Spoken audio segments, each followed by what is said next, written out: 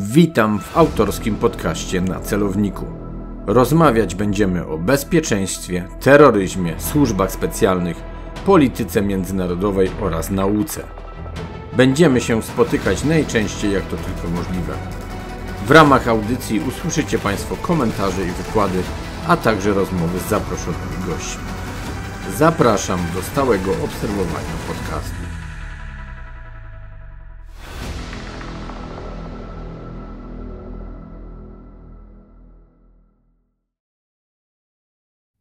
Przy mikrofonie Artur Dubiel, Wyższa Szkoła Bankowa. Dzisiaj w podcaście na celowniku gościmy ponownie doktora Stanisława Niewińskiego. Dzień dobry Stanisławie. Witaj Arturze, dzień dobry Państwu.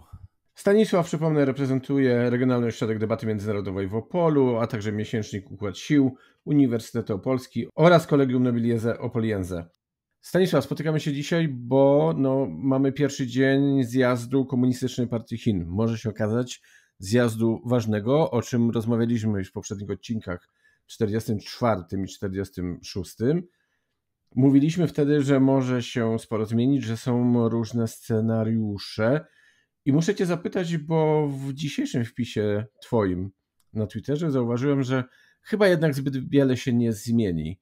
To jak to w końcu będzie z Xi? Bo tak, z jednej strony rozmawialiśmy o tym, że będzie próbował swoją władzę utrwalać i przedłużyć, z drugiej strony, że grozi to może nie jest dobre słowo, ale że może mieć miejsce y, takie kolektywne y, zarządzanie, komitetowe, a z drugiej strony, o ile już się dobrze wyrażam, y, czytałem jakiś czas temu, że Xi miał być zamknięty w areszcie domowym czy gdzieś izolowany. Co tak naprawdę dzieje się w Chinach? Wiemy coś, co jest bliskie prawdy, czy co są jakieś takie sterowane, kontrolowane komunikaty dla Zachodu? Czy jednak jest to gdzieś tak za murem wszystko schowane, że nie wiemy, co do końca z prawdą, a co pewnego rodzaju grą. Faktycznie, dzisiaj, a nagrywamy to 16 października, zaczął się 20 zjazd Komunistycznej Partii Chin. Potrwa do 22 października, czyli no, no niemal praktycznie cały tydzień e, będzie, będzie on trwał. I możemy już zdradzić trochę do przodu, że na pewno spotkamy się też po zjeździe i będziemy próbowali wyciągnąć z tego wnioski. Jak najbardziej. Koniecznie musimy się spotkać i spróbować z tego zjazdu jakieś wnioski wyciągnąć. No i tak e, odnosząc się do mojego e, wpisu na Twitterze, no faktycznie myślę, że zbyt daleko idących niespodzianek tym wypadku e, nie będzie. Tutaj, Arturze, pozwoliłeś sobie wspomnieć o różnym pogłoskom, które miały miejsce w poprzednich tygodniach, a nawet miesiącach. Pojawiały się takie informacje, jakoby Xi Jinping zniknął, mógł być zamknięty w areszcie domowym, może nawet zamordowany. I tutaj pojawiały się takie tezy, że może tam, prawda, w ramach KPH jakiś zamach pałacowy ma miejsce. Wiemy, że to, jest, e, że, że to jest nieprawda, bo już kilka tygodni temu Xi Jinping oficjalnie się pokazał. No dzisiaj oczywiście on ten zjazd e, otworzył, otworzył takim prawie dwugodzinnym swoim mm, przemówieniem, do którego myślę, że jeszcze dzisiaj e, wrócimy i w tym, w tym sensie faktycznie tutaj wielkich niespodzianek nie będzie. Xi Jinping pozostanie u stery państwa, będzie miał tą swoją e, trzecią kadencję i to wcale nie jest powiedziane, że będzie ona ostatnia. Natomiast no, wciąż otwartym pytaniem jest to, jak silna ta jego władza będzie po, po tym zjeździe. Aczkolwiek tak analizując artykuły publikowane na przykład przez e, South China Morning Post, a to przypomnijmy tutaj e, naszym słuchaczom, to jest dziennik, który wychodzi w Hongkongu. Jeden z takich bardziej obiektywnych, bardziej wolnych, można powiedzieć, tytułów pracowych w Chinach, no to analizując, e, prawda, te ich różne artykuły, to można, można tutaj odnieść wrażenie, że no raczej w jakimś stopniu tą swoją władzę umocni, choć wciąż jeszcze nie wiemy, nie wiemy jak bardzo. Na to pytanie odpowiedź poznamy, myślę, w ciągu tego, tego tygodnia. Powiedziałeś, że zjazd został otwarty przez dwugodzinne przemówienie Xi Jinpinga. Z drugiej strony poza anteną, zanim zaczęliśmy nagranie, powiedziałeś, że tak naprawdę z tego przemówienia niewiele wynika. Czy mógłbyś rozwinąć tą myśl i przekazać swoje spostrzeżenia naszym słuchaczom? Oczywiście, przewodniczący Xi Jinping, otwierając zjazd, kongres KPH, wygłosił takie niemal dwugodzinne przemówienie i w tym sensie, że w tym sensie ono zbyt wiele nowego nie wnosi, że on tak naprawdę powtórzył pewne założenia, pewne elementy swojego credo polityczne, politycznego, no, które znamy już, prawda, w wyniku tych 10 lat jego rządów, więc cóż się tutaj pojawiło? No pojawiło się, pojawiły się pewne elementy dotyczące gospodarki, no, że trzeba budować tutaj, prawda, model gospodarczy w większym stopniu skupiony na rynku wewnętrznym, na tej sile nabywczej obywatela, że bardzo ważne są innowacje gospodarcze. Istotną kwestią jest większy nacisk na zagadnienia ekologii. No to są elementy, które on od 10 lat wdraża i próbuje wdrażać w chińskiej gospodarce z różnym, dodajmy, sukcesem. Były tam również pewne kwestie dotyczące polityki zagranicznej, no dosyć ważne skądinąd sprawy, bo tam powtórzył, że Chińska Republika Ludowa no, zastrzega sobie prawo do tego, aby kwestię Tajwanu rozwiązać siłowo. No ale to też nie jest nic nowego. Stanisławie doktorze, muszę zadać pytanie, a jak ci się wydaje, do kogo właściwie to przemówienie było skierowane? Do kierownictwa partii, do samych członków partii, do Chińczyków, czy do odbiorcy zewnętrznego, może też i do społeczeństw, do, do rządów? Czy może przemówienie było skonstruowane w taki sposób, żeby do wszystkich coś przekazać? Zdecydowanie do wszystkich. I do elit komunistycznej partii Chin, i do społeczeństwa e, chińskiego, i jak najbardziej powiedzmy na tej płaszczyźnie zewnętrznej również. No, do, do wszystkich tych elementów, które wymieniłeś. Bo mieliśmy, robiąc mały research, można znaleźć w mediach e, kilka dość ciekawych informacji z ostatnich godzin, dni. Pierwsze, które takie się pojawia, to jak tytuł mówi artykułu, spięcie admirała NATO z chińskim dyplomatą, jeśli dobrze pamiętam, z Islandii. Jedni drugim zarzucają pewne rzeczy. Część publiczności reaguje w ramach Rady Arktycznej, bo, bo tego mhm. nie dopowiedziałem, reaguje śmiechem na odpowiedzi chińskiego dyplomaty. No jedni drugim zarzucają, że tak naprawdę nie kierują się tym, o czym mówią i, i pewne winy wzajemnie sobie przypisują. Co ciekawe, pojawiają się też informacje, że Chiny nakazują swoim obywatelom opuszczenie terytorium Ukrainy. Pytanie, też czemu dopiero teraz? No i właśnie pytanie, czy coś wiedzą od, swo od swoich junior partnerów z Rosji.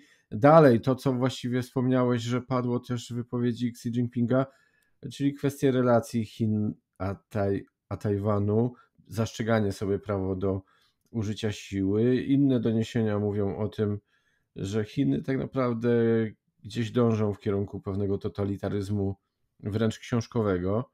No i chyba ostatnie takie najważniejsze, że to, co się w sumie, może nie najważniejsze, ale jedno z ważnych, że Chiny w jakiś sposób zostały zamknięte poprzez COVID, poprzez pandemię i że chyba nie do końca widzą w tym własną winę, oczywiście znowu całego świata.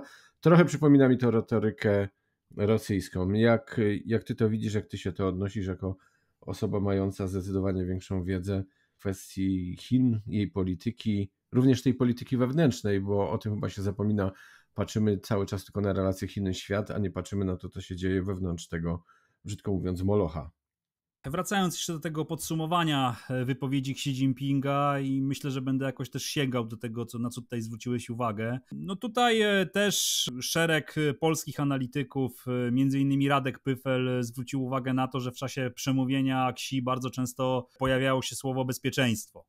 No też nam tutaj dużo mówi, jest ten nacisk na kwestię właśnie bezpieczeństwa, co współgra również w jakimś mierze z tym, co Xi Jinping robił przez ostatnie 10 lat swoich rządów, no to znaczy no, wzmacnianie tego państwa o charakterze autorytarnym. I prawdopodobnie, no właściwie jest to pew, można być tutaj e, tego pewnym, ten trend będzie kontynuowany przez następne lata. Czy Chiny zmierzają do państwa autory- totalitarnego?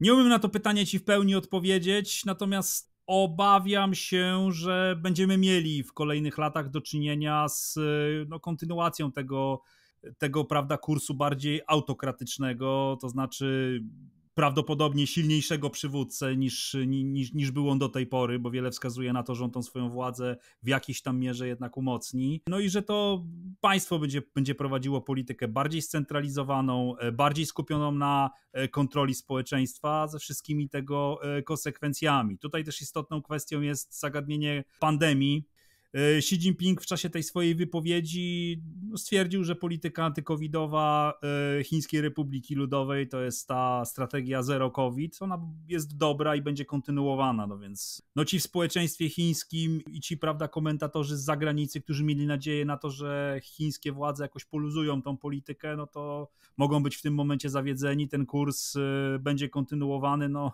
Pytanie, jakie to będzie miało konsekwencje, szczególnie dla chińskiej gospodarki, pewnie negatywne.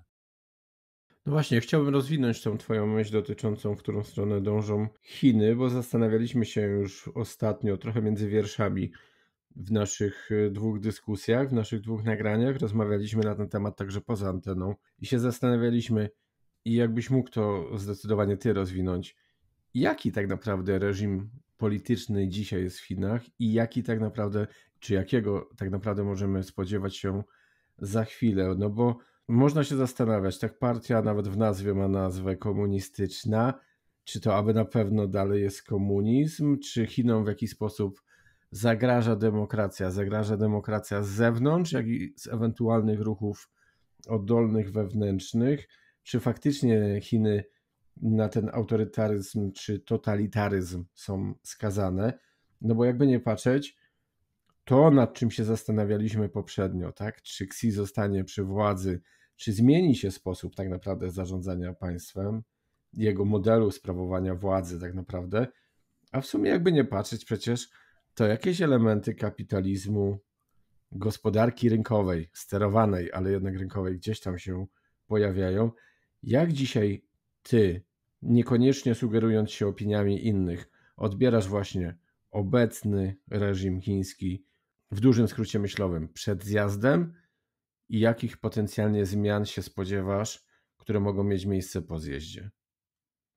To jest dobre pytanie, na które e, zadaję sobie wielu tak naprawdę analityków i w Polsce i na świecie badających Chiny, no w tym dodajmy analityków dużo bieglejszych ode mnie. Ja próbując tutaj jakoś na te twoje pytanie odpowiedzieć, e, pragnę na samym początku zastrzec, że ja pod żadnym pozorem nie, jest, nie jestem specjalistą od e, myśli marksistowsko-leninowskiej. Także tutaj no, może być to pewien, pewien mankament w tej mojej wypowiedzi.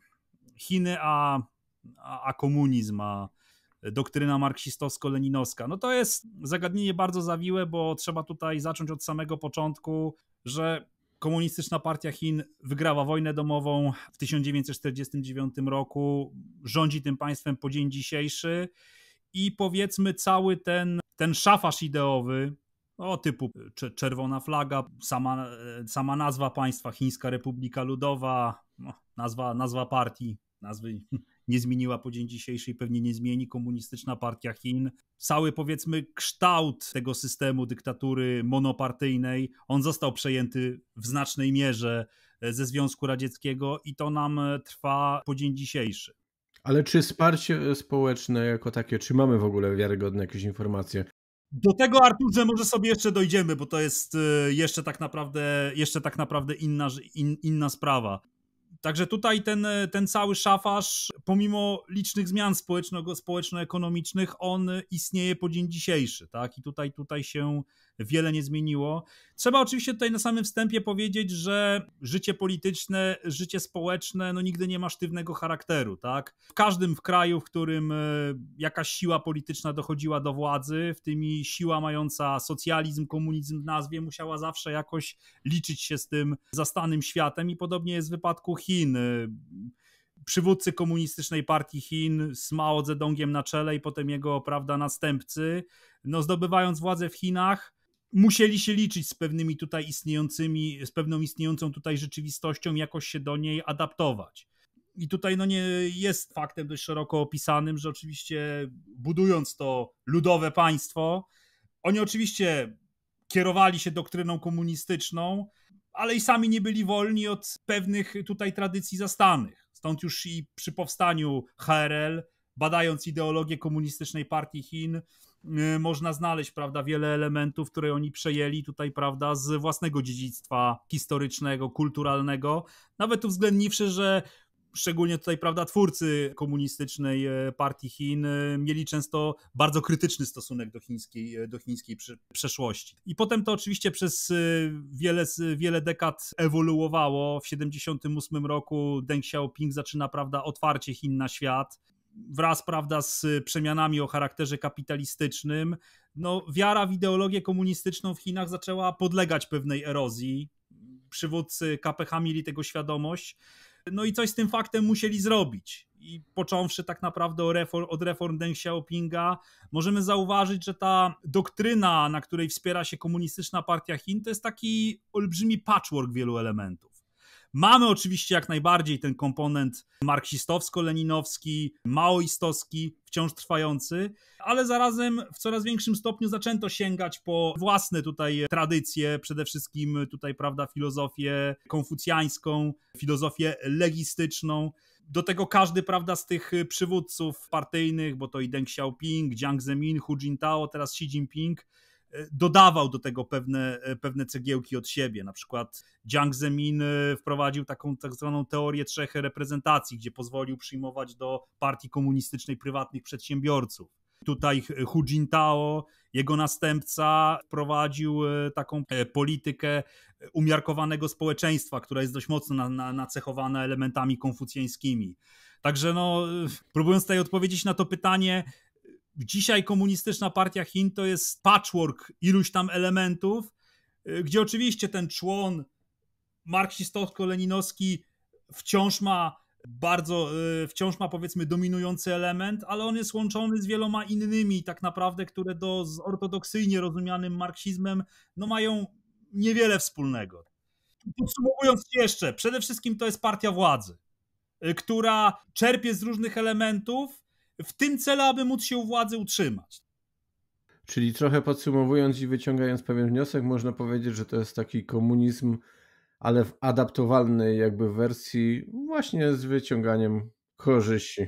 Bardzo daleko idącej, adaptowalnej wersji. Aczkolwiek mówię, to jest temat, na który można e, dyskutować bardzo długo. Tutaj jest wiele tak naprawdę sporów o to, ile tutaj jest tak naprawdę tego powiedzmy komunistycznego, marksistowskiego rdzenia, a na ile tak naprawdę tu jest sięganie, czy to do własnych tradycji, czy to też jakaś adaptacja.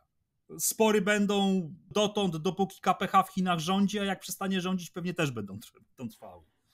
Dobrze, ale muszę wrócić do jednego z poprzednich pytań, z którym troszeczkę mnie oddaliłeś, czyli pytałem o wsparcie społeczne, bo jakby nie patrzeć, nawet y, nie wiem jak duże elity zawsze będą musiały mieć to wsparcie społeczne, bo jeżeli nie, no to wcześniej czy później oczywiście społeczeństwo przeciwko niemu się obróci, niezależnie od tego jak duży jakby ucisk ta władza wobec społeczeństwa zastosuje.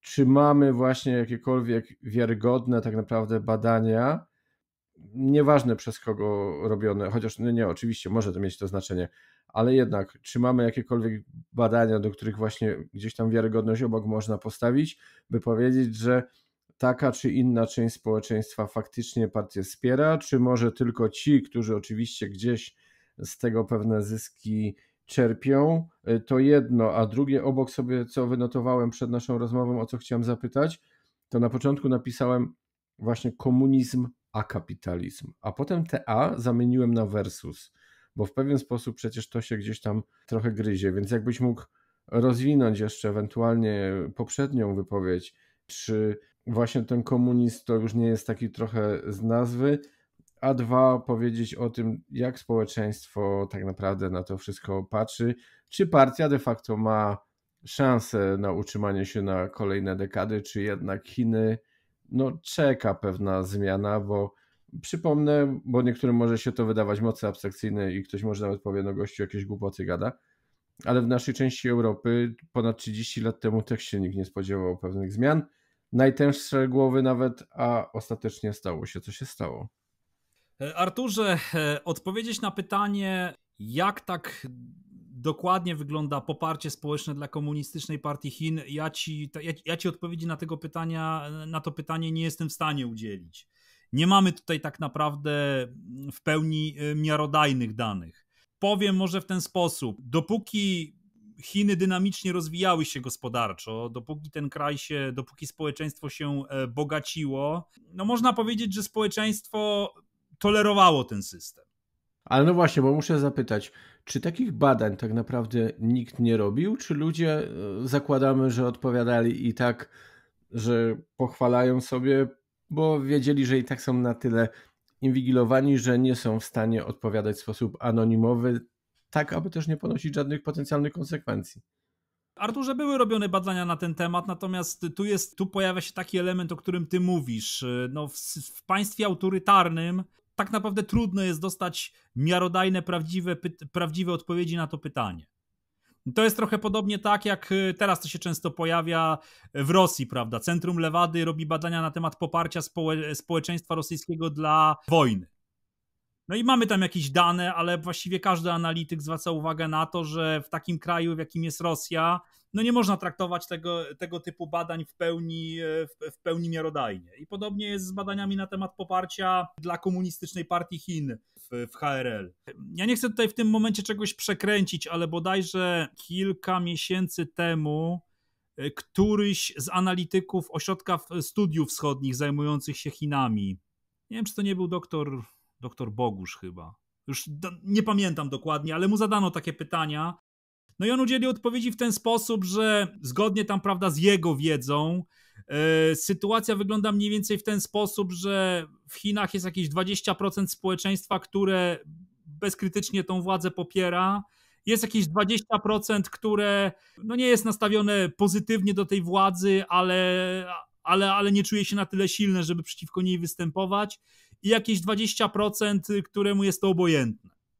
No ale to podejrzewam, że no nie jest to odpowiedź, która jakoś tutaj no, mogłaby ciebie czy naszych widzów e, w pełni satysfakcjonować. No nie mamy w pełni miarodajnych e, po prostu badań na ten temat.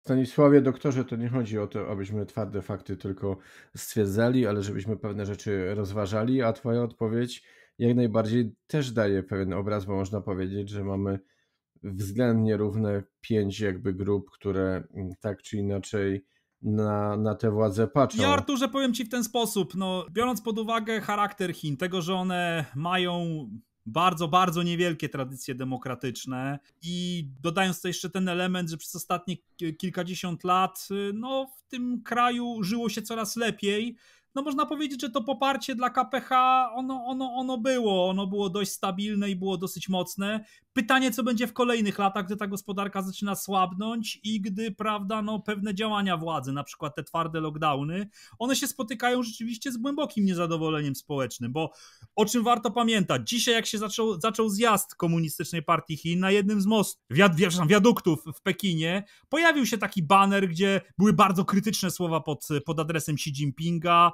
że to jest zdrajca, że to jest tyran, że on zabrania, odbiera ludziom wolność w wyniku, prawda, polityki antykowidowej.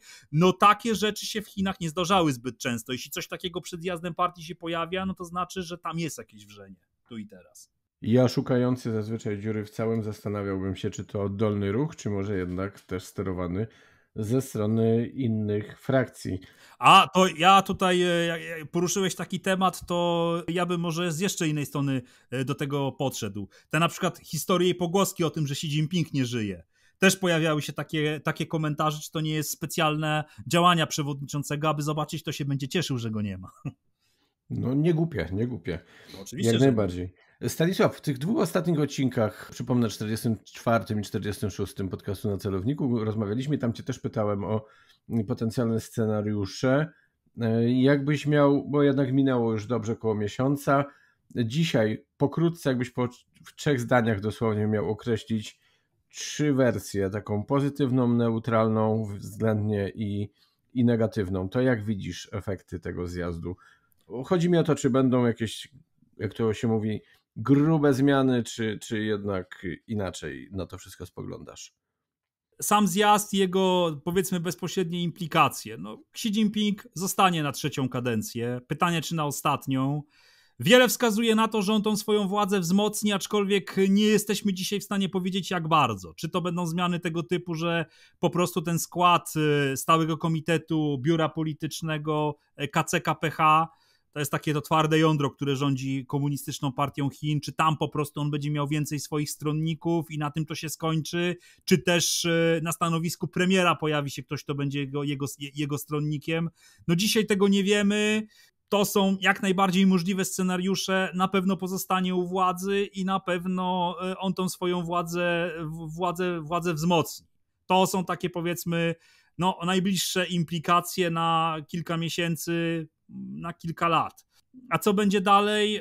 Trudno mi na to pytanie jest tutaj w pełni odpowiedzieć. No ja powiem szczerze, przyglądając się e, polityce przewodniczącego Xi Jinpinga w ostatnich kilku latach, no zaczynam patrzeć na to wszystko coraz bardziej pesymistycznie. No tutaj zaczynają się sprawdzać te komentarze analityków, sinologów, politologów, e, skupione na tym, że no rządy jednego człowieka mogą być pozytywne krótkoterminowo, ale długoterminowo zaczynają państwu, którym rządzi, przynosić coraz więcej skutków negatywnych. No i ja się obawiam, że tych skutków negatywnych będzie E, będzie coraz więcej. Jeśli Chiny będą się dalej trzymać strategii zero COVID, no to będą tym samym osłabiać własną gospodarkę.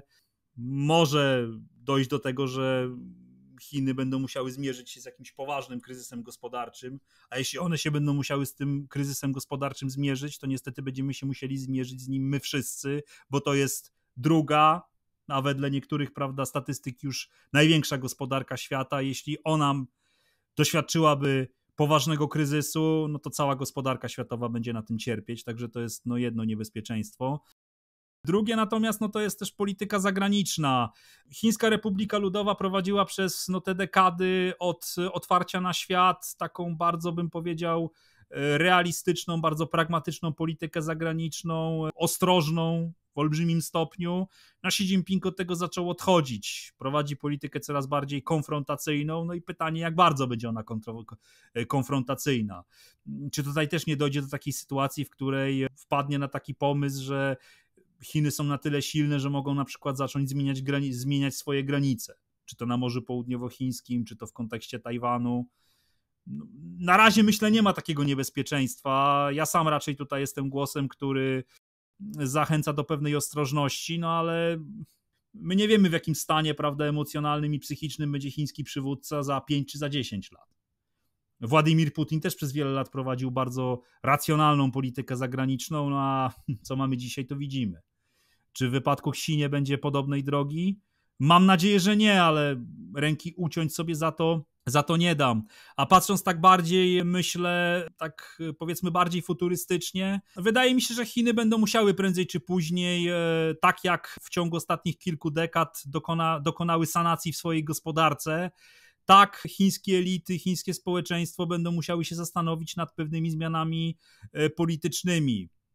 No bo spoglądając na to w ten sposób, że kto by w Pekinie nie rządził. Chiny to jest wielki ośrodek cywilizacyjny, wielki ośrodek polityczny, który odgrywa i będzie odgrywał ważną rolę w świecie. Jeśli, chiński, jeśli, jeśli, jeśli Chińczykom zależy na tym, aby no, Chiny zajmowały na arenie międzynarodowej stosowne do swojej rangi miejsce, no to będą musiały w jakimś momencie zastanowić się nad tym swoim systemem politycznym, ponieważ Myślę, że społeczność międzynarodowa no nie będzie zbyt przychylnym okiem patrząc na, na to, że no, kraj autorytarny jest jednym z głównych rozgrywających na arenie międzynarodowej. Jeśli Chiny chcą rywalizować ze Stanami Zjednoczonymi o te wpływy na świecie i odnosić tutaj sukcesy, to nie odbędzie się to bez zmian politycznych, bo to ma ogromne przełożenie na soft power. To nie są tylko moje słowa. Tutaj, e, Arturze, tobie i twoim słuchaczom Zachęcam śledzenie publikacji jednego z najwybitniejszych e, chińskich internacjologów, profesora Yang Xuetonga, e, który e, no, to jest jeden z wybitniejszych chińskich intelektualistów i on między wierszami oczywiście, bo nie wszystko może napisać wprost, w jednej ze swoich książek wskazywał na to, że no, jeśli Chiny chcą odgrywać poważniejszą rolę na arenie międzynarodowej, no to będą musiały na jakimś etapie dokonać u siebie zmian politycznych. I tu już nie chodzi tylko o sprawę międzynarodową, ale myślę, że wprowadzenie bardziej tam e, powiedzmy przedstawicie, bardziej przedstawicielskiego rządu. Ja nie mówię demokratycznego, bo to jest oczywiście inna kultura, inny, inny krąg kulturowy. Myślę, że na wielu płaszczyznach e, będzie dla nich e, pewnym, pewną zmianą pozytywną. ale myślę, że to jest temat na nasz nawet oddzielny odcinek, właśnie Chiny i demokracja, jak się te chińskie tradycje polityczne mają do demokracji, bo ja stoję na stanowisku, że można w Chinach wprowadzać zmiany pod kątem bardziej pluralistycznym, demokratycznym, biorąc tutaj za pewien fundament ich własne tradycje polityczne, które wcale aż tak bardzo proautorytarne nie są, jak się często uważa. Czyli czy chcemy tego, czy nie, i tak wracamy do zagadnień związanych z reżimem politycznym, jaki mamy, bądź będziemy mieli w Chinach, być może, więc być może mądrzejsi będziemy za tydzień, być może trochę później, ale na pewno za tydzień będziemy kontynuować naszą rozmowę. Śledzić to trzeba jak najbardziej. Bardzo serdecznie dziękuję. Moim Państwa gościem był dzisiaj dr Stanisław Niewiński. Dziękuję serdecznie, Stanisław. Dziękuję serdecznie, Arturze. Dziękuję Państwu. Bywajcie zdrowi, bywajcie bezpieczni. Kieruj się w stronę podcastu na celowniku. Wszystkie odcinki podcastu na celowniku dostępne są w platformach podcastowych Spotify, Apple Podcast, Google Podcast, Anchor, a także w serwisie YouTube. Zapraszam również do wspierania podcastu na celowniku w portalu Patronite pod adresem patronite.pl ukośnik na celowniku.